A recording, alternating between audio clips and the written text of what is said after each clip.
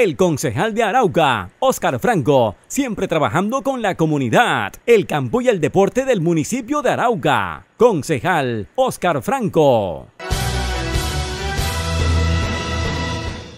La administración municipal radicó un proyecto en el Consejo de Arauca para los nombramientos de algunas personas en la comisaría de familia. Diana Guerrero, concejal, es la ponente.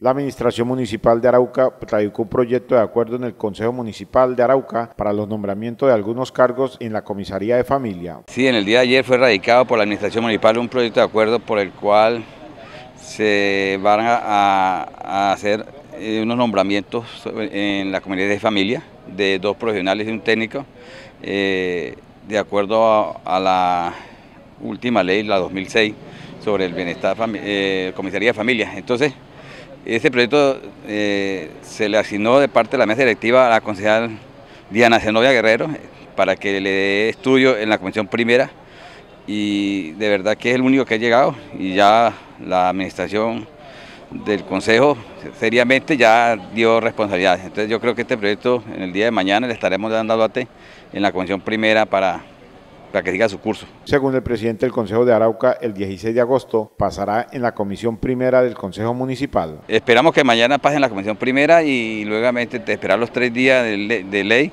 para que se le haya el curso en la plenaria, pero yo creo que tiene, la administración estuvimos hablando en el día de ayer y el proyecto está, eh, está bien, eh, tenemos que hacer unas correcciones ahí de unos códigos, pero la verdad que no tienen ningún problema y es de necesidad y de acuerdo a la ley nos toca. Este ha sido el único proyecto que ha presentado la Administración Municipal en este tercer periodo de sesiones ordinarias del Consejo Municipal de Arauca. Habíamos hablado con la Administración, eh, el mismo señor alcalde nos recalcó que llegaría unos, eh, unos proyectos de acuerdo a unos, a unos contracréditos debido a la época invernal que tenemos en estos momentos.